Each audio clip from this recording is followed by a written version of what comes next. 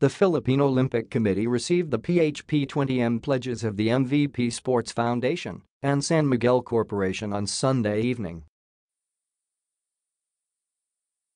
But those were not the only donations received by POC chairman Ricky Vargas and President Bambol Tolentino. The PBA also gathered funds from each club team that amounted to PHP 6M during the ceremony held during the halftime break of the TNT Ginebra tilt.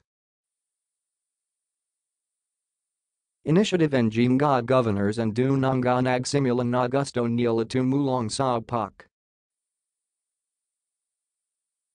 Sa Hong Kong Pa Ito, Napag Kasunjuan and God governors na suportahan ang Pocket Yunga, ang Presidente Chairman Din Naman, shared Marcial, as Vargas is also the league's chairman. Actually, young budget na ibibigay and GPBA, ganun lang talaga EC Commissioner Willie Ang Nag suggest na puwid lakahin naman because we're supporting our chairman, Mr.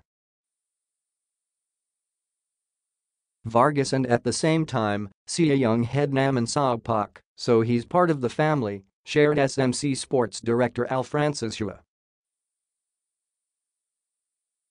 Each team contributed at least PHP 500k for this endeavor. With the MVPSF's contributions heading to the medalist for the Asians Games, while SMCs will go directly to the NSAs they want to support, the PBA's pledge will go directly to the athletes participating in the 2018 Asian Games and 2019 Southeast Asian Games.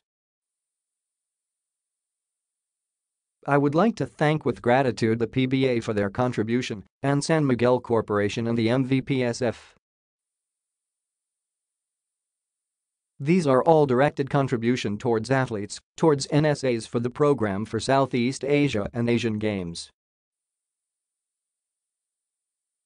We are very thankful for all these contributions, expressed Vargas. Also present in the ceremony were POC Secretary General Pedro Gregorio POC Deputy Secretary General Karen Caballero, Samahang Basketball NG Pilipinas President Al Panlilio, Association of Boxing Alliances in the Philippines Secretary Ed Picson, and the PBA Board of Governors. Advertisements